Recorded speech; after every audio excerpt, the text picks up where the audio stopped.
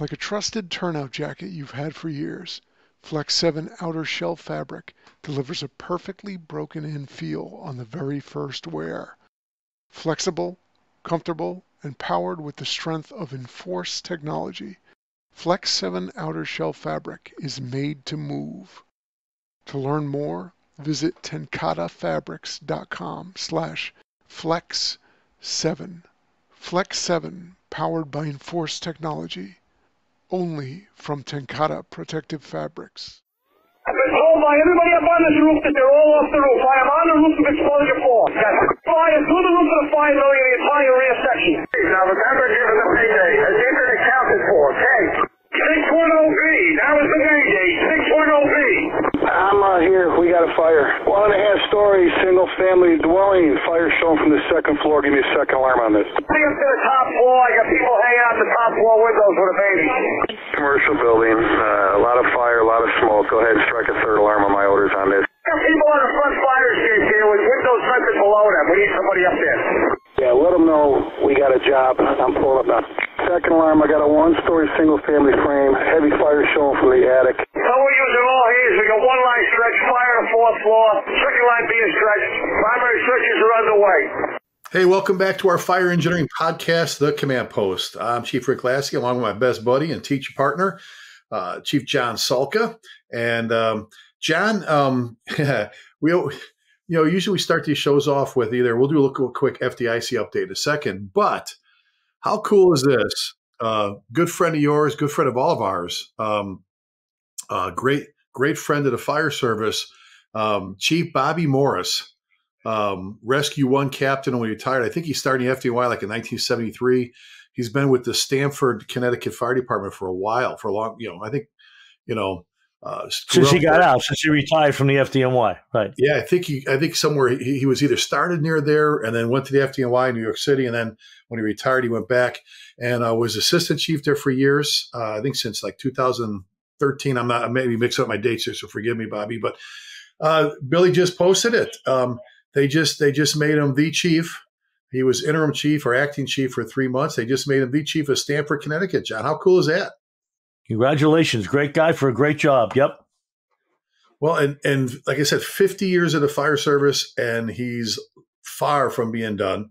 Uh, what a, what a great guy! Uh, uh, incredible, incredible instructor. He's always, I mean, the guy from force Century to everything else he does with the rescue. So it's just nice to see another good guy, another good chief. How about that? Another good fire chief. Absolutely, so, good man, good man. And then we are all set. We just posted it for FDIC along with everybody else. Congratulations to all those that are uh, that got accepted. And and John I always mention this. Um, we're out and about. We're going to talk about a little bit later about uh, don't get frustrated when you. Let's talk FDIC. When you when you submit a, a, a class. Um, there's a variety of reasons sometimes why it may not get approved. One is there's only John, there's only so many classrooms there. There's only there's more there's a ton more submissions than there's available space to teach, right? And then, you know, you and I've said for for years, if you're going to submit a program, number one, be be very familiar with it, be comfortable with it, you know, know your topic backwards and forwards because you're at uh, the biggest conference anywhere. Um, and if you're going to try and BS someone, you're going to test it, but know your stuff, know your content. Um, and the other thing too is, you know, find a topic um, that's kind of your niche. You know, and John, I always use the example. There was one guy that was upset because he wanted to do store fires. You know, and he says, "Well, I got rejected for store fires two years in a row." I go, "Well, that's because Chief John Norman does store fires." He goes, "Yeah, I know." I go, "But but Chief John Norman does store fires." Yeah, I understand. I go, so you know they can't tell John Norman, who like you, you know, legendary FDNY, you know, fire service member, period. Hey, John, uh, we're going to have you take a year or two off, you know, from teaching store fires, which among all his topics are great. But so, so, you know, you and I've told people for the longest time, you know, to, um, you know, to, to pick a topic that, you know, eh, I always tell me it's like, it's like do, submitting articles. If you're going to submit an article, read the magazine. Cause sometimes John, people send an article to me and I'll go, well, you know, they just published that like three months ago, four months ago. They're not going to do another one three months later. You know, kind of read the magazine, go to classes, but don't give up. Don't give up. There's, you know, so many of us, you know, we, we put in, we put in. John, you and I know some pretty heavy hitters that for one reason, reason another, you know, didn't make it, and then the following year they do, and so on and so forth. I can't imagine what Chief David Rhodes and Diane Rothschild, what they how what they go through after the advisory board submits all their evaluations, what they have to go through to pick the classes within all the different, you know, topics, you know, from from tactics, strategy, leadership to safety, and all that. So, I mean, what what, what advice do you have? You know, in class, a lot of people come up to you and ask you how to how to get an article published, how to teach at FDIC. What do you usually tell these guys and gals when they come up to you and ask you that? You know, we just talked about it this past weekend because we, we were out of town. We were down in Virginia doing a company officer academy, and, and I had that exact conversation with a couple of a couple of guys, not young guys, couple couple of guys that were officers, a captain and a battalion chief, were both interested in presenting and and you know had written written a few things, and, and the one the one guy that had a great I thought was a really fantastic idea for a program for a presentation I said, have you written anything on this? Is there an article that exists on this program yet? Or have you written, you know, either for fire engineering or anywhere else for that matter? He said, no, no, no. I just put this together. I've done it. I've done it about four or five times at different conferences here in North Carolina. You know, I said, well, here's my advice to you. If you're looking to go to FDIC, go go to them first with an article. I said, put this thing to paper. Number one, it'll be sort of like a review or an update. You, you'll be doing a program that you've already done. You're already doing out in the field, right? write a nice article, write a nice professional article with the same title and submit it to fire engineering. Now, now your advice about hopefully they didn't just publish one, but if you have a particular article on a particular program that you want to do, go ahead and do it. If they did one last month, you know, they're just going to file it. They're not going to throw it away. And maybe six months later, let's say, hey, you know what? We got another one of them in, in the hopper here. Let's grab that one and post it. So my point to this fellow was, this chief was, get yourself published at least once, but a couple of times, start writing and, and then getting selected as a presenter at FDIC is sort of like the natural progression. It's sort of like, it's sort of like the promotion from, from being a writer. You know, it's not absolute. It's not, abs- you know, uh, you know, every time, but that's certainly the route to go. And most people that are presenting at FDIC and elsewhere, even the other shows, if you're writing first, your name gets out there, people start to recognize it. Somebody says, Oh, you know what? I think this guy wrote an article. And suddenly they are, you're writing and you're teaching and and and you're off and running. That that's pretty simple advice, you know. Well, and and um, one of the guys we talked to actually was our well, the host. We had Danville, Virginia. What a great place, huh? What a great fire department. And another one. We're so lucky. You you say it. I always steal your thunder with this when I'm in classes and when we're doing a show. That you you you said it hundreds of times. You know, we have the honor to hang with the coolest people in the world. We get to go out and you know talk shop all day long in the classroom and, and all that. And uh, here we are in Danville, Danville, uh, Virginia. And um, uh, one of the guys that we hooked up with that, that coordinated everything was Deputy Brendan uh, Smith.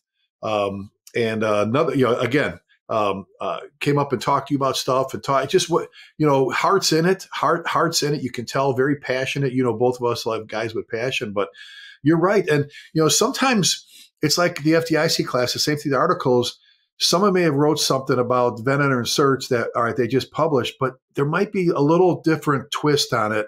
You know, there's always you know there, we always say there's nothing new in the fire service, right? But there might be like a new little you're reading it going, and all of a sudden, boop, they hit you with something. I go back to you in Wichita. You've been dealing with ladders for 50 years in a fire service, and you go, oh my God, look what they did to their ladders in Wichita, Kansas on their, their ladder companies. And it it, there's always new stuff. So, I mean, you know, you could have done a whole ladder article and all of a sudden think that thing comes up and it makes the whole article worthwhile to read. Right. So, and, know. and, the point about writing is so simple because um, you, you simply can't get published if you don't write and submit it. Submit it, get it in there. Let, let them take a look at it. Listen, they may not even like it. You may, you may hear back from, you know, from Diane or, or maybe from you, Rick. You know what?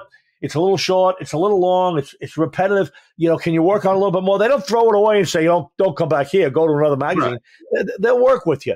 So the, the, the bottom line is, if you're interested in writing, number one, start writing. Number two, submit it. Get it in there and start the process. And before you know it, I mean, you and I occasionally, occasionally, I can't talk for you occasionally I write an article while I'm waiting for a plane to take off. I'm sitting, I'm sitting, you know, I'm, I'm, sitting in the airport and an idea comes to my mind, or maybe an idea came to my mind the night before at a presentation.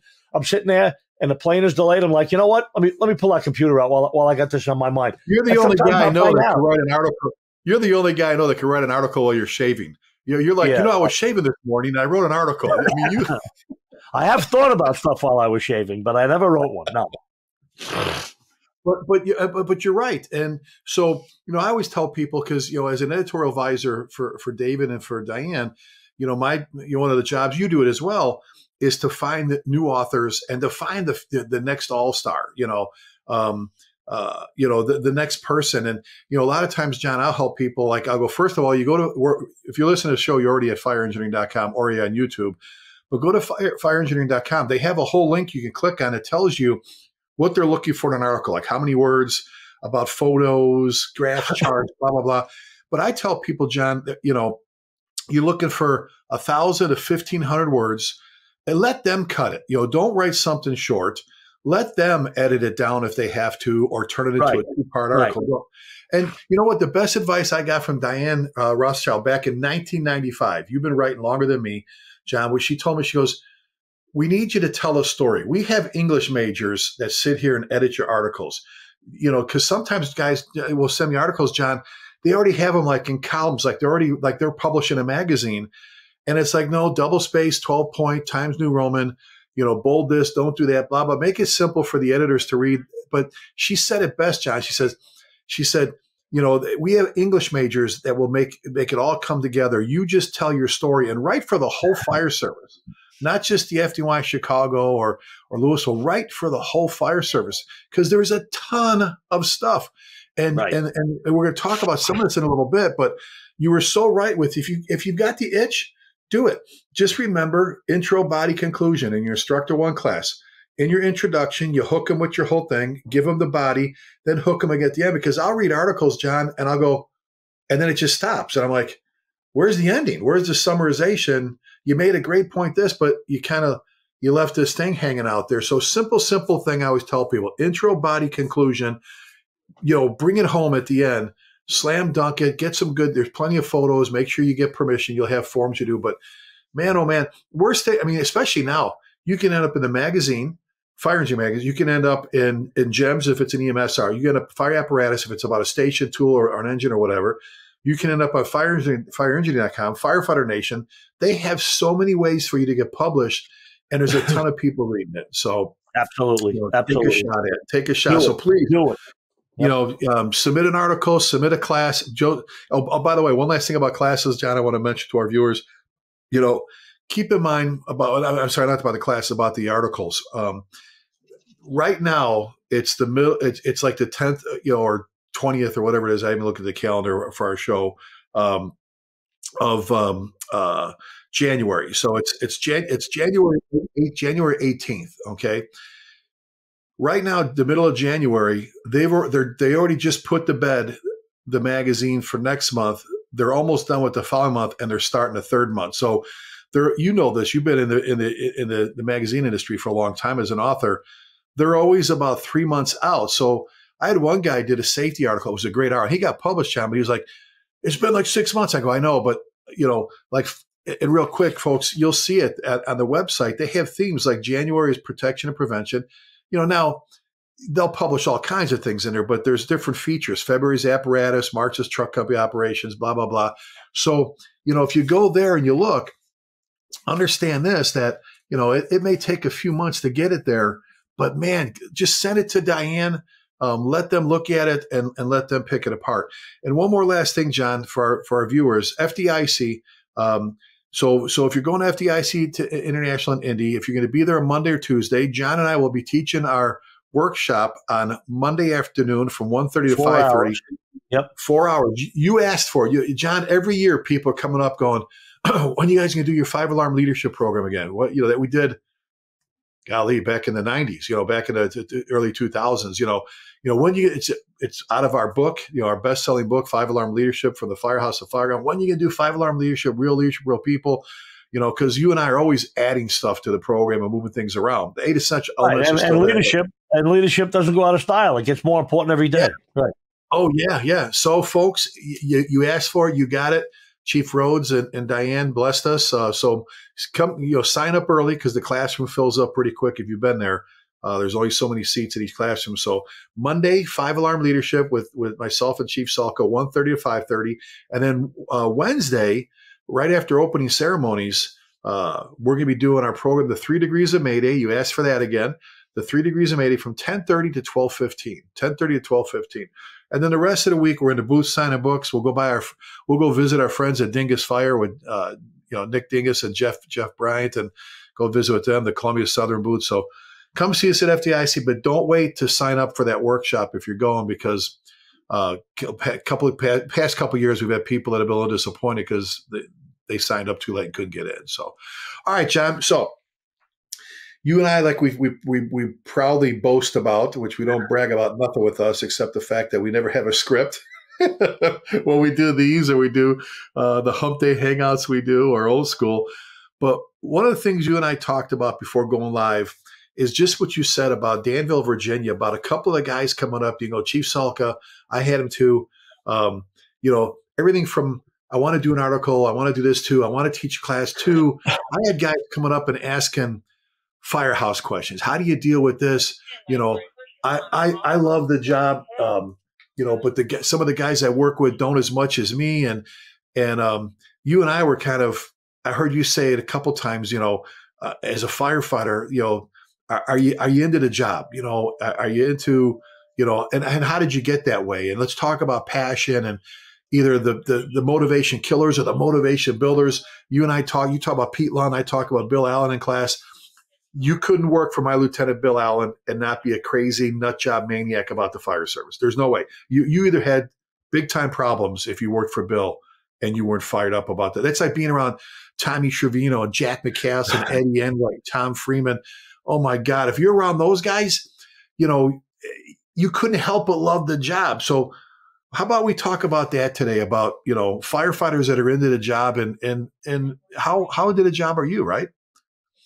Right. And actually, you know, I know when we talked about this yesterday, when we were sort of bopping around looking for a topic, thinking about what we're going to say, um, you know, one of the old sayings is now that you're on the job, get into the job. And the other saying, you've already said that, you know, you know, be, being into the job is everything. And, and, and yesterday we said, but what does that really mean? You know, some guys say, oh, I'm into the job. You know I'm saying? That's like saying, I love the fire service. That's like saying a lot of things. Some people say stuff, and I'm not saying, right, they're not insincere. They're not lying. But you you still find grades, you know, these different grades of people. Like some guys are into the job and they always show up a little bit early and they show, you know, we're going to drill tonight, Lieutenant. Yeah. But then other guys are like, they, they come in the firehouse and they're dragging in a door and a door frame that they picked up down the block that was out for garbage. He said, look, we can set this up and, and make a forced entry door out of this thing. You know what I'm saying? Like there are degrees of being into the job. And obviously, obviously, the more you're into the job, the more true that is, number one. And not only the more true it is, but the more you rub off on the guys around you, it's very hard. We talk about we, we just talked about Bobby, you know, making chief up there in Connecticut.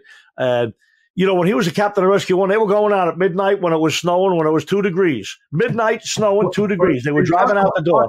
Talk about that. Talk about you tell that story in class about him coming in and what at midnight with rescue. Right. And the details may not be exactly right, but the story is always true. And this is a true story. So it's so it's Rescue One, and I've always heard it was Bobby uh, Bobby Morris, and it makes perfect sense because the guy is an absolute lunatic he, for the job. He loves the job, right? So they would say you'd be hanging around. Well, first of all, in the FDNY, nobody nobody's tucked in with, with a with a you know, a lollipop at midnight in, in a bunk room. Everybody's up in the kitchen. Everybody's still got their bunker pants on at midnight in the wintertime. Everybody's walking around. And, but anyway, so Rescue One, the guys are all still there, single quarters, single single company, six people. And all of a sudden, bing, bing, bing, rescue's going out, you know. They all look at the clock, whether they're watching TV, sitting in the, sitting in the kitchen, drinking coffee, and out they go. And, and there they go, you know, driving down the block, snowing, like I said, 10 degrees outside, dark, middle of the night and they get to this vacant building that, that the captain has the key for. Apparently, stopped there during the day, talked to the guys that were working, or talked to the owner. Said, "Can we get in here? We won't do any damage. I just want to bring the guys in here later." Sure. So there he is, opening the lock, telling the guys, "Okay, let's get the life saving rope and, and your regular tools. Let's go up to the roof." Up to the roof they go. Now the roof's got several inches of snow. The wind is blowing. It's cold, as I said. And he's like, "Okay, let's do a life saving rope rescue. Let's look down this shaft, an enclosed shaft." A, a, shaft that's got four walls around it between the two buildings that it that it shares. Right? There's a woman trapped down there. Puts his flashlight down and shows down. There's a woman there. There's smoke coming out over her head. We got to get to her. Let's do it right now, guys. Let's do the life saving rope rescue. Boop. They dump it. They start tying it. Also, he's like, hold on, hold on, hold on. turn the flashlights off, guys. There's too much smoke up here. There's so much smoke. These flashlights aren't even illuminating anything. Just turn your lights off and let, us do it. You know, with, with the visibility that we have, and off they go. You know, these are five rescue guys. These are guys that were FDNY, engine men, truck men, busy companies, made it, you know, came to the rescue. They have a lot of experience. They got a lot of training. And there they are, bing, bang, boom. And they did it so quickly. Obviously, he doesn't let them actually go over the edge, but right there is where he stops it. Okay, good. Perfect job. And he's watching. And he's looking at his clock saying, that was an, that was an excellent time, you know, because they do it quickly. Why? Because this is what they do. Because they go out at midnight 10 times during the winter and, and, and do it in the dark. And because in the middle of the summer, when it's 95 degrees out, and everybody's saying, ah, can we stay in for drill tonight, Cap? You know, it's pretty hot outside. That's when they're up on the roof somewhere sweating at, at, at 8 p.m. and it's still light out and they're trying to do something else. You know, I remember telling my guys, now I, I was, I was in the rescue as a firefighter years ago, but I remember telling my guys when, when I was a captain of 48 engine, you know, truck guys in the firehouse, engine guys in the firehouse, and maybe, maybe somewhere there'll be a life saving rope rescue. We call it a roof rope. It's the old term, but we still use it. Um, and I would say, you guys in 56 truck, you guys in, in, in 58 truck, you better have this stuff down cold. Because I'll tell you what, right now, if there's any talk on the radio, on a handy talkie, any talk at all, we may have to do a life saving rope rescue. If that's even said or uttered, I said, if you're not already up there and ready to work, rescue will get there or a squad or a special unit, not because they're better than you, but because they practice this all the time. They will arrive there after you and they'll get over the edge ahead of you and they will make the rescue. And, and it's not about who gets to make the rescue. It's about getting there as fast as possible and they'll beat you and they'll beat you and you'll be ready and you'll be, okay, I got it. Three clicks and all of a sudden, boop, they're over the edge. And you're like, what, what happened here? You know, so for a couple of reasons, the main one being we want to make the rescue successful. We want to, you know, get those people that are in need out of the building. But uh, I just love the story because there's so many lessons. The first lesson is about the officer that wants to train his firefighters in real conditions. Talk about talk about the best person in the world to be really into the job is the boss. The guy or the gal riding the front seat, if they're into the job, how could everybody else not be? I mean, I remember right. I remember being officer in squad one and guys were there, you know, Kevin O'Rourke and, and Joe Downey and, and, and you know, I, I could just Freddie LaFemina. All these young men went into the job. They all went on to be chiefs. Huh? John, John Cullen. Cullen. John Cullen. Absolutely. Absolutely. You know, a couple of, we lost a couple on 9 11, but uh, Billy McGinn and, and and that. But I'll tell you what, being into the job, you know, I, I remember one time some guy, I forget who it was. It was a friendly joke, but he was like, "Man, hey Cap, you are some buff." You know, I said, "You know what? Coming from you, I'll take that as a compliment." A compliment. That's right. That's right. Yeah. well, and and I'll, let me say this real quick before I bring something else up. So if Chief if Chief Bobby Morris is watching this show for some reason, if he's having a hard time sleeping at night or whatever, John and I want to work for you, Chief. John already said it. We both want to come That's work right. for you in Stamford. Now that you're the chief chief in Stamford, we I don't care whether it's just sweeping the floors or whatever. I can drive there. I'm not that far. I'm not that far. Yeah, we, I'll fly back and forth every day on American Airlines. I, I want to work for Chief Bobby Morris. But you said something I want to go back to for a second, which is so right on, so spot on about, and I say it all the time, you know, I, I teach the program Pride and Ownership, the Love for the Job. You know, uh, there are there are different levels of love for the job, and I, I had a hard time when I was younger, John, um, putting up with like I, I, just I couldn't understand how guys when I was a young firefighter paramedic couldn't they uh, they just weren't they didn't how could you not love this job how could you not how could it just be a paycheck how could it just be oh my god this is the coolest thing in the world and one of my mentors Chief Jack McCassin said Ricky you know, not everybody's the same. Everybody has different levels. Some people have different things going on in their lives that are affecting their passion at the moment. They they all still they all still love what they do, but some are thirty something years into the job and they're into the job, but they're not into it when they like they were when they were 21 years old and all that stuff. And and so it took me a while, John, to realize there were, like you said it before, there's different levels. And I used to tell guys, look, I don't expect you to love the job like me but I expect I expect you to have your own passion for the job. Um, what, what's Jerry Wells say? Um, uh, um, uh, be you know, here whole, now. Be here now. Be here now. And, and, real quick for our viewers, we've mentioned this a bunch of times before. Jerry Wells, a retired battalion chief from Lewisville, Texas. Dad was a legendary, great battalion chief, great leader from Dallas Fire. Um, he he he took a program from Boise State when they upset OU in football years ago in college. He took the the, the college coaches, the Boise State's coaches leadership theme for that year of "Be Here Now." It added to the fire service, you know, and and the, the coach said something along the lines, John, like, you know, look, when you're here, I need you to be here now. When you're here, be here now. Engage. When you go back to your dorm, your residence, every go back, play Xbox. What you're gonna do? Actually, give Xbox 100 percent too, but go back. That's fine. When you're here, be here now.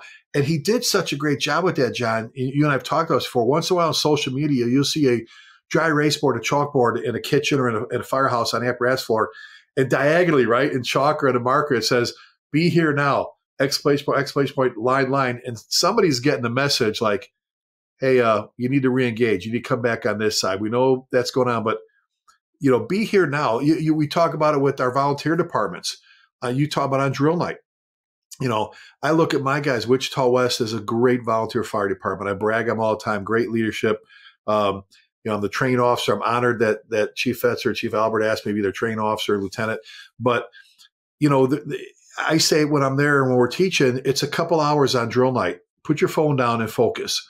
You know, let, let's get here, get the rigs checked. Let's get on drill. Let's get on top of it. We only have so much time, and it's nice to visit, but save that for afterwards or get there early enough but be here now, engage. And and you've heard me say this plenty of times. Passion drives success. You and I, we like I said, I don't. How many times you said, you know, I've never had a bad class. You know, now for our viewers, if you're ever around Chief Salka, his his his yardstick, his measuring tool for a great program. You know where I'm going with this. I'll, we call each other. So, how's the group? How, how where you at? Oh, I'm, I'm in. I'm in Amboy. How are? Oh, they're great. How? Where are you at? Oh, I'm in uh, Beeperville. Really? How are they? Oh, they're great, but they're no Birmingham. So to our viewers, John was in Birmingham, Alabama, and he just was on fire. He called me, "This is the greatest group," and we've had some great groups. But so he compares you, if he says, "Yeah, uh, where I'm at, they're on, where we were just at in Danville? You know, Danville, Virginia." Those guys there and gals, it was like another Birmingham. And when he says that, that's like, I don't know if there's a better compliment. That's like, right, oh my right. God, you know he's into it. So, so so let me ask you this, John. We've well, talked about before, before, you do that. I want there was something else I, I, wanted to say a moment ago. Um, the other great thing about being into the job and loving it, and and you know, getting there early and drilling and training and talking shop, and you know, is it's contagious. It's contagious. Yes. You know, sometimes you get a new guy on a shift, or a guy transfers in, or sometimes he's just a guy like an EFDNY. A lot, a lot of firehouses have two companies, an engine and a truck, and there's a bunch of guys working, and you know, sometimes the guy from the engine will come over and say, wow, that was really cool. That drill that we just had, you know, I mean, the engine truck will drill together maybe on something. And maybe, maybe one of the young enginemen will come over to a truck guy or even to the truck boss, probably to a truck fireman and say, you know what, boy, that was really cool. I'd, I'd like to, I'd like to learn a little bit more about, you know, forcible entry and stuff like that. I'm, I've been in the engine for a couple of years and I'm loving it. I'm loving it. I love this engine. But, uh, gee, maybe that's something I can do down the road. Before you know it, there, there's a kid that, that, there's a spark, uh, you know, something get ignited in him just from a drill in a firehouse, from a great lieutenant like Pete Lund, or maybe from a couple of great firefighters like the guys that we work with. And all of a sudden, you know, uh, Mark Wesseldine or whatever, and all of a sudden this guy is is hungry. It lights the fuse, and you know, you, you come back a year later or whatever, and now he's in the truck. All of a sudden he transfers over. Not not that, that that's any measure of being in the truck or not, because there's plenty of guys in the engine into the job as well. But the point is, it's contagious. And the, and the more guys and gals, the more people, the more firefighters and officers that are into it, and the higher level of it that they're into, the grade of, of being into the, the better it is for the whole house. And before you know it, people around there know it. Oh man, 45 engine, 58 truck. What a great house. They do a lot of work. They're into the job. The, the firemen help each other and, and, and watch each other and sort of, you know, making sure each other pulling their weight. Great place. And that's what happens when you got good people in a good house, you know and you hear that you know they got great bosses there too because we've seen that before with great firefighters and the bosses suck or whatever but when they've got that great thing going on you know and, an example i want to throw there too just what you're saying so you know jimmy spears right um, dr spears a legendary and his wife are they're our vet the, uh, everybody in north texas i think uses them for their pets jimmy is incredible um, I, I love him dearly and um, I, I, I, told you this. I was I was standing next to two of our younger firefighters on the apron. We just came back from you know call and everything else, and we were finished up. We're getting the rig back in service, and the two young guys are standing with their hands in their pockets, just kind of staring out towards the street. And and I said, look at the look look over there. I said, isn't that amazing? They go, what? God, I'm just amazed at that. Aren't you guys kind of awestruck? What? He's he's 50 years old, you know, eh, but he's got well. First of all, he's 50. You would never know. He's got the energy of a 21 year old. He runs everywhere. You know, um, big fitness nut and everything else. Goes to every single class he can attend, anywhere in the country, anywhere he can get it. John, and this is a guy who's a medical doctor, right? This is a guy who's a medical doctor, highly trained. Yeah, he's a veterinarian, but you know how, yeah. And and all this stuff, and and he's he's got a broom and he's sweeping the apron because we had a bunch of mud and rocks from when we came back from this call. And I just said, look at this. We're done putting the rig in service where everybody else is ready to go. Okay, it's time to go. But the, and he's sweeping.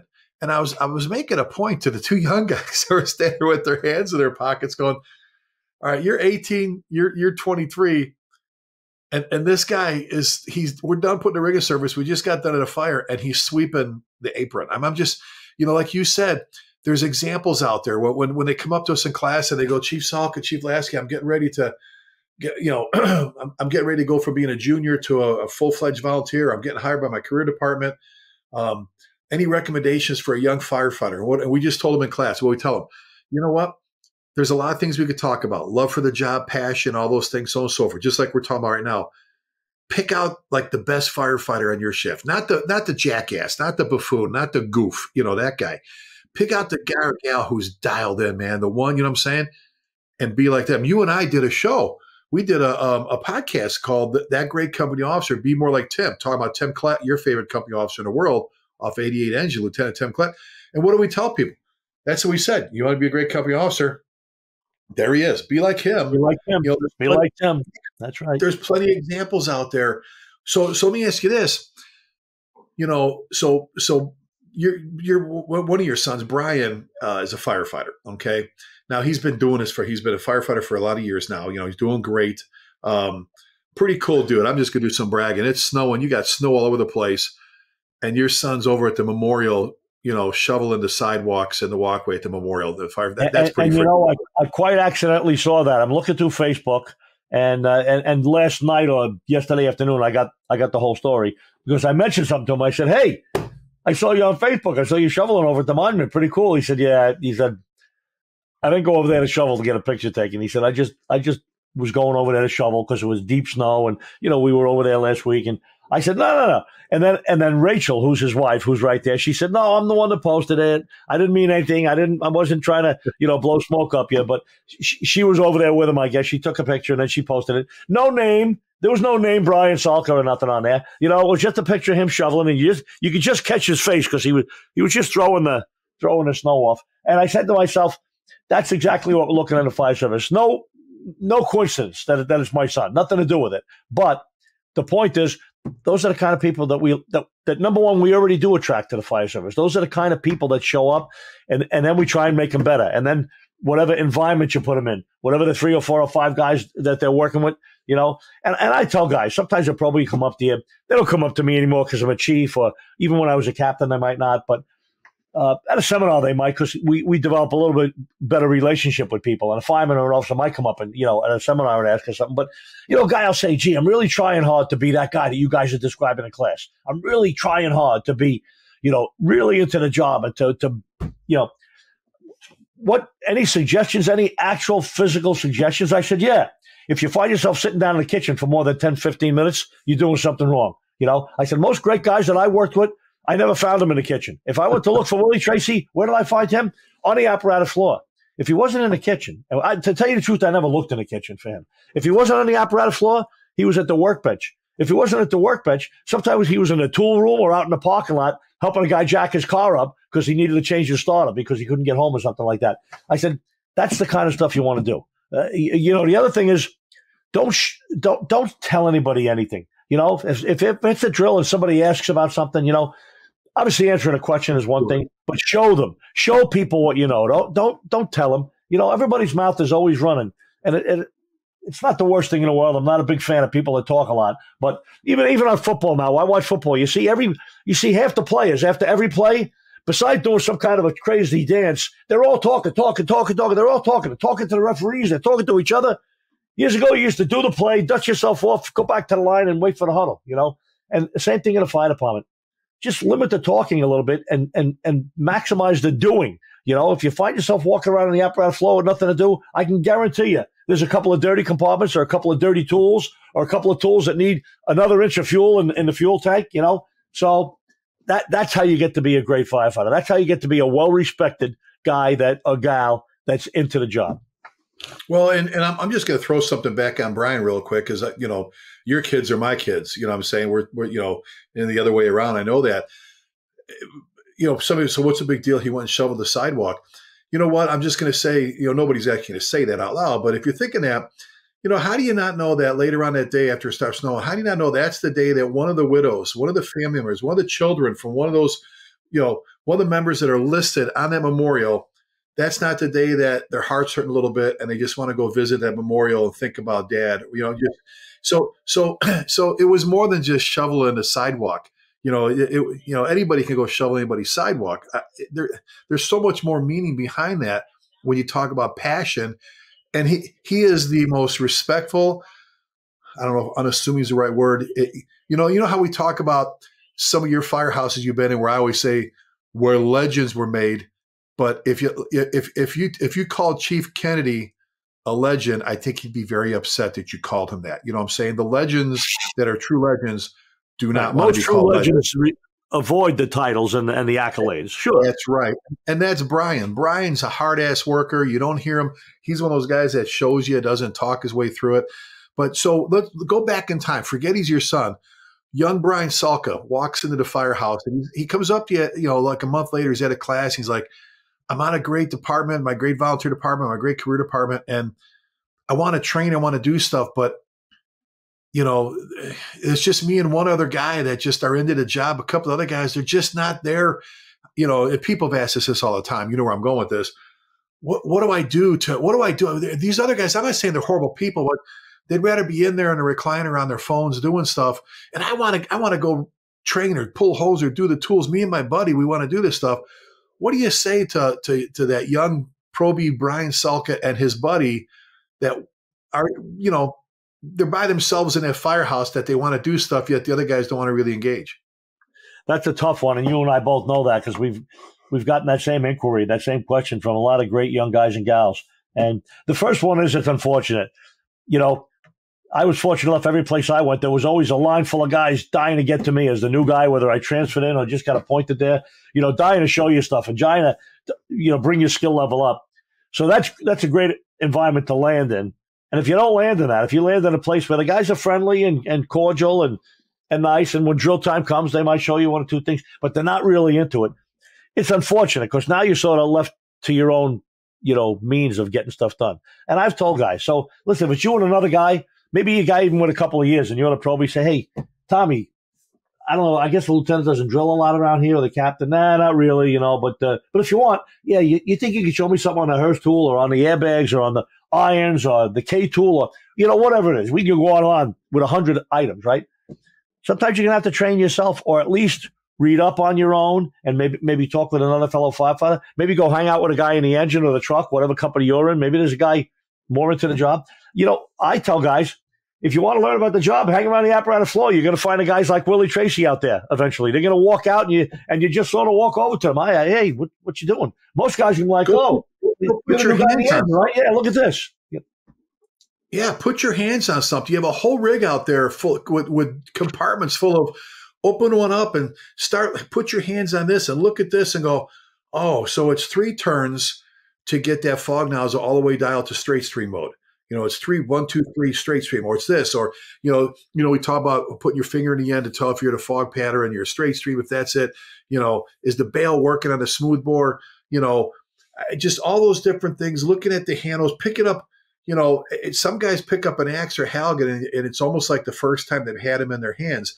You know, it's like every time you get in a rig with your gear and you put your air pack on, you get that much better at it. Same thing. You know what? And, and I, God, I've asked you to tell this story a hundred times. I'm going to ask you to tell it one more time. Polishing the brass. I, I, I yeah. can't move on from this topic and put your hands on stuff without talking about when you're a Proby polishing that milk crate full of brass. Tell that story. Yeah, great story. So, so I'm a probie, and uh, you know, there's there's regular routines. Every firehouse has a beginning and a shift routine and a training routine and whatever. And uh, I forget what day of the week it is. Let's just call it Monday. On Mondays, whoever the junior man was, and if I was working, I was a junior man, right? Uh, you open up one of the rear compartments, the rear driver's side compartment, the old plastic milk box, you know, that people used to get their milk in, full of, you know, metal, a lot of brass fittings and, and everything else, reducers. And, and you, you have to take that box out, you know, away from the rig somewhere on the apparatus floor or wherever and take them all out. And, and there was a, uh, there was a, there was a brass polish there, you know, with the clean rags and put the polish, smear it on all these two, pieces, and then when they dry, by the time you put, you put the last piece with polish on it, the first one's ready to go. You get a clean, clean, you know, towel, and start buffing them off, cleaning them up. And I'm telling you, those things shined like they were just made, like they were brand new. And it would take me a good hour to get this whole thing done, maybe longer, you know. And it was dozens and dozens of pieces, right? Little, little, whatever they were. And you pack them back all in there and put the box back in, and you were done for the day. You'd mention to the boss next time you saw him, "Hey, Cap, I took care of the fittings." Oh, go, thank you, John. And uh, and I'm always saying to myself, "Gee, these things didn't really, they didn't really get dirty or or start to fade." A week later, a week later, I happen to be working Monday again. It's like, did you get the couplings yet? I'm like, oh, I'm going to do it right now, Cap. And I'm saying to myself, really? I did it seven days ago. They're still shiny. They're still shinier than anything else on the rig. Anyway, go down, do them again. So this went on obviously for a long time. And one day I was up in the office doing something, filling out a piece of paper for a day off or for a mutual or, or whatever it was. And the captain's at his desk on the phone talking to somebody. And he's like, Yeah, oh, I have a whole box full on the rig just like you. Yeah. Oh, I have no idea. I, I have no idea. Oh, hold, hold on a second. Salka. Yeah, Cap. How many, how many, the fittings that you work on on Mondays? Do you know how many? Yeah, what do you, what do you need to know? Like how, how many double females? How many double males? Oh, 12 of those, 11 of those. Do we have any, any gated Ys? Yeah, we have two gated Ys. Yep. Both inch and a half, no two and a half. And, and I recited the whole thing to him. And suddenly, you know, as I was walking out of the office a minute later, I realized, you know what? That, that was the purpose. That was the purpose of that daily, what I thought, not daily, weekly, uh, useless exercise. The purpose was familiarization. And, and who needs it more than a young guy that's, that's brand new? So you go through it, you put the wax on them, you take the polish off, and before you know it, you're looking at them and you're starting to mentally, even even unconsciously, count them and look at them and you know put the same ones together over here and the same one. Wow, we got four of those, but only two of those. You know, and also you got to commit it to memory just from yeah, that's muscle memory just from doing it over and over. Great, a great little not trick, but I thought it was a great little process. It's a great, it's a great mentoring leadership training story. I, I love you when you tell it. That's why I ask you to tell it so much. But and, and think about that. It starts with the box, the milk crate full of fittings, and that spreads to the rest of the stuff that's in that compartment. And that spreads to this compartment, that compartment, this compartment, the hose bed, under the driver's seat, the uh, in the in the in the glove compartments, whatever little cubbies you have. And before you know it, you know every inch of that pumper ladder truck. You know every single inch of it. You're not running around opening up doors looking for shit at a call and all this stuff. You you own the rig. You own that rig. And then it spreads from the rig right to the floor. You know how many lengths of, of two and a half you on a hose rack, how many lengths inch three quarter. You know where where where the repair kits are for things. you know where every single broom and mop is. You know where the, the polish is. You know where this is. You know where that is. You, you know where the furnace is. You know how to change the filter. All of a sudden, the whole freaking firehouse becomes yours. You know, like that, like that milk crate full of fittings spreads to the rig, to the station, to everything. And that and that's the purpose of, you know, the rigs being checked all the time. Obviously, in the FDNY, I'm retired now a couple of years, but right until the day I retired, from the day I got there, the rig was checked every every tour. I mean, you came in at 9 a.m., you checked the rig if you were the Johnny or the Proby. And at 6 o'clock, if you continued on duty, if you were going to work another shift and do a 24 hour shift, you would check the rig again. Or if you went home, somebody else would check it. My point is, the rigs get checked that frequently, every single shift, every single day. There's no exceptions. You know, and then you and I in our travel sometimes that comes up in our class. And a guy come up to you at the break and say, Really? He said, I thought we were doing pretty good in my company. We, you know, we, we check it like twice a week. Like Monday morning the rig gets checked and Thursday morning the rig gets checked. I thought I thought that was pretty good. We weren't overdoing it. I said, that is pretty good. But is that what you want to be? Pretty good? Is that what you tell your kids? Oh, Dad, you're a fireman. Yeah, I'm a pretty good fireman. Yeah, you know. I said, what you want to do is you want to do it as much as you can because then everybody knows where everything is. Now you got this professional company. When somebody turns around and says, Billy, grab grab the grab the smoothbore nozzle. He doesn't have to say it's in the compartment behind the wheel well. He doesn't have to say that because you turn and you go right to it. And you and I have seen the guys on YouTube and other videos where they roll up to a working fire and the guy is sort of sprinting around the rig, opening compartments and closing them. And, and he does it like three times before he comes up with like a nozzle or something pretty important. I'm saying he didn't know where that was, you know? So that's yeah, the same guy that great habit to get into. Well, that's a, the same guy that walks around the fireground, like you say, like he's at a picnic. Instead of with a bump in the step, like we talk about the guys from Stockton working at a rapid pace, not running, but bam, bam, bam, get off the rig with a purpose, what you're doing. This is, goes back to know your assignments, know your tasks. But now there's two more people, John, that we can't pass by when it comes to influencing the passion in your firehouse.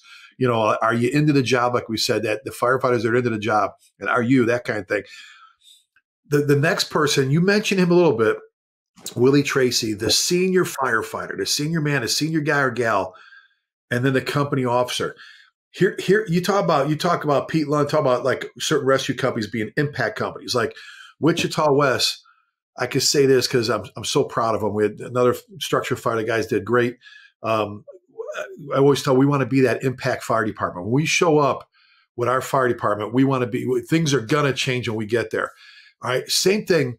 Those company officers, John, and, and without without blowing smoke up your skirt, you were one. So let you know but the senior firefighter, like John Cullen, and I tell this story a lot in class when when Donnie Haid set me up to ride 235 engine in Sal Marchese in Brooklyn. We went to 14 fires in 12 hours. Uh, Battalion 57, Chief Dennis Cross. You said acting deputy killed 9/11, but but John Cullen was lieutenant, one of your firefighters on Squad One, right?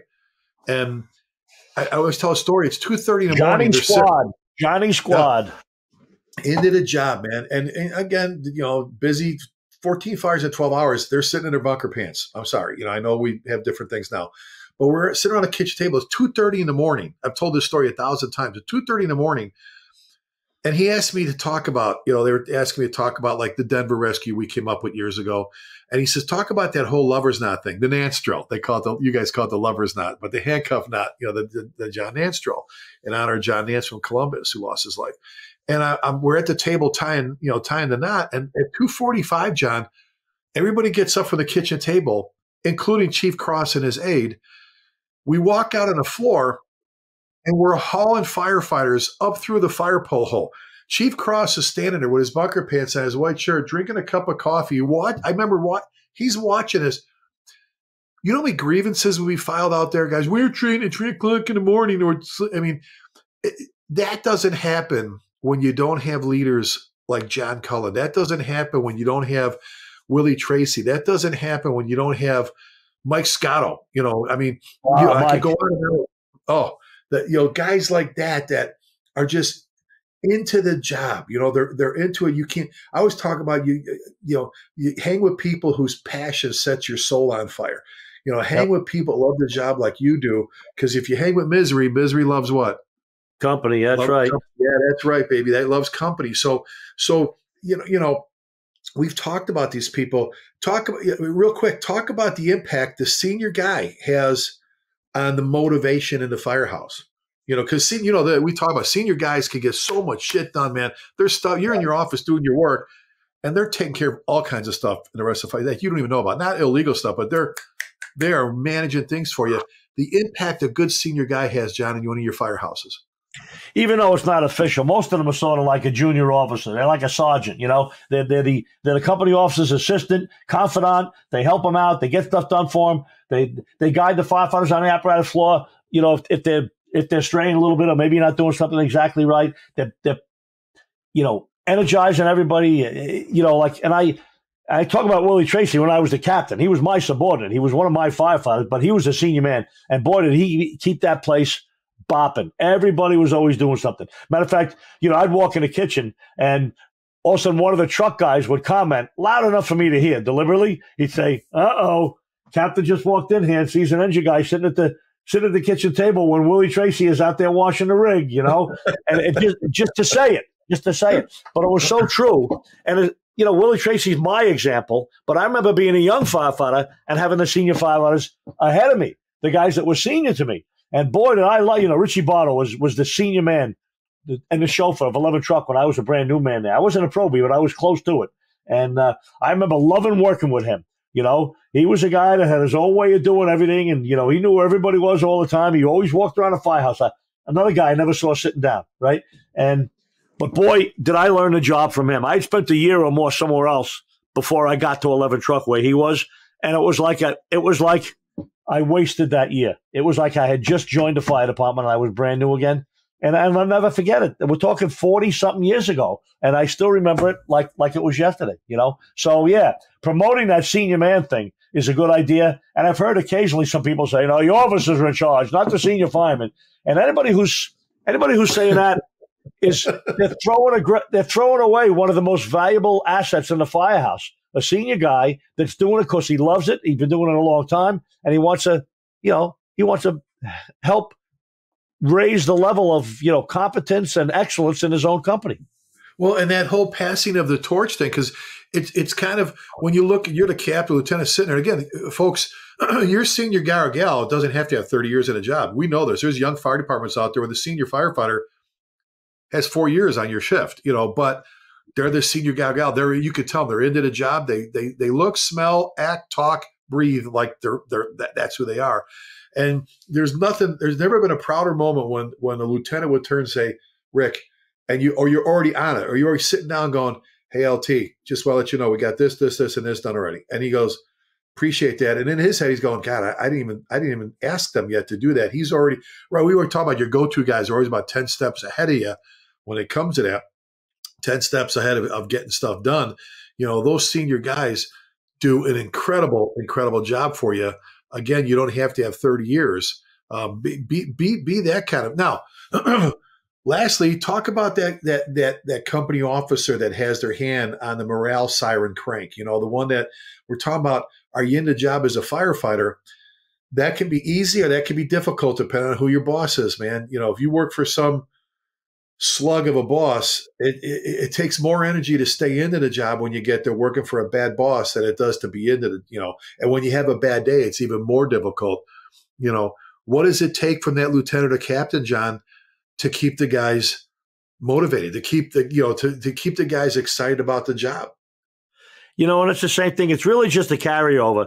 Really has nothing to do with the fact that they're a company officer because those same guys were great senior firefighters. They were great motivational firefighters when they were firefighters. Then they made lieutenant, and then guys, you hear guys talking. Oh, you got that? You got that Lieutenant uh, uh, Brown? He's covering your battalion. Oh, hopefully your captain grabs him. Man, he was a dirty truck. What a home run that guy was. He was. He he led the drills and everything else. I mean, he didn't take over the company job's job, but he he you know he did a great job there, and he's a lieutenant now. You're, you're not going to go wrong with him. So you know, that, that positive attitude and that senior man attitude that a guy has as a firefighter, they carry that with them into being, into being a company officer. And after they settle in somewhere as the new boss and, you know, take it slow because there's other bosses there already, they're going to fit in first, you know, eventually they're going to shine. And we talked about Bobby Morris and, you know, his boy, his son, and lots of other guys that we know, you know, Dennis Cross, and I, we could just go, you know, Tom Kennedy. We could go on and on and on. And Pete Lund, these are the guys that make the fire department what it is. These are these are the people that that make excellent companies and excellent battalions. And and like I said before, it's not only contagious within the company or within the battalion, but sometimes there's another another waylaid engine company that's watching 45 saying, man, oh man, Salka puts them to work every time, even ahead of sometimes somebody else. You know what I'm saying? Like, and, and sometimes guys start saying, hey, you guys want to be like fourth due for the rest of your lives? You guys want to be the last guys to take hose line up instead of stretching the line? Let's let's get our shit together here, you know? So, so sometimes the contagious part is within the company and the guys that are around you, you know, their level comes up. But sometimes there's people somewhere else that are watching saying, wow, they're doing something right that we're not doing because because we we never get picked for the, for the second line, you know, or, or however it's unfolding. So there's well, there are no negatives. There's only positives. Yeah. You hear me say it all the time. You know me. I'm a big Motown fan. Berry Gordy, who created Motown, one of the tenets from his success with growing Motown was competition breeds champions.